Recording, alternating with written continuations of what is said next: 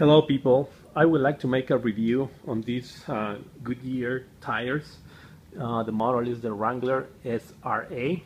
You can see it right there backwards. Okay, SRA. These are the 275 65 R18. Okay.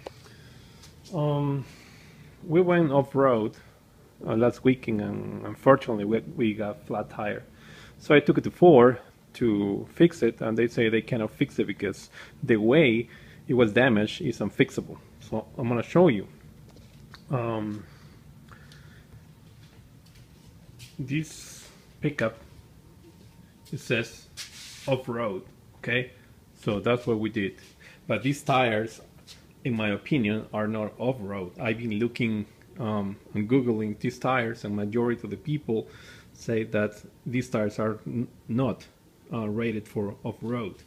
So this pickup only has 30,000 miles. I bought it a few months ago. Uh, let me show you the mile mileage right there. Okay.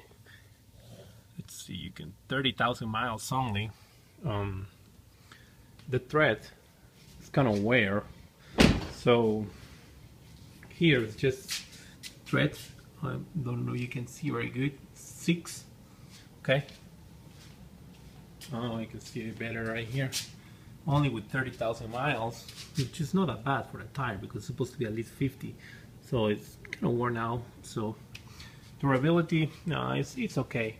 But the reason why I don't recommend you these tires to go off-road is because the way it was damaged, uh, these tires couldn't handle it.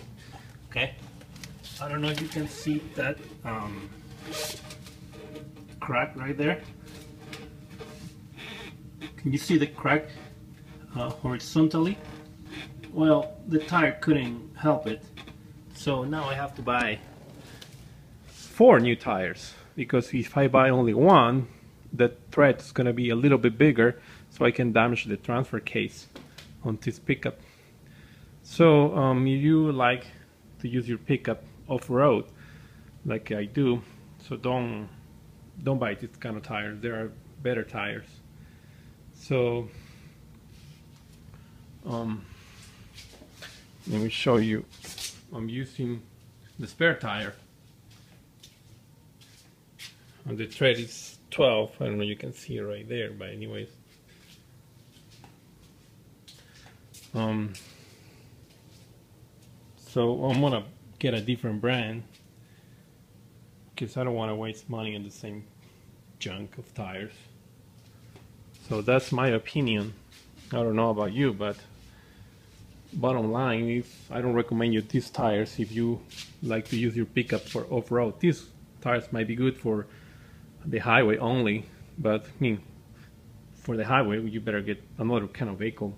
The pickups are mostly off-road, don't you think? But anyways, that's my review. Alright.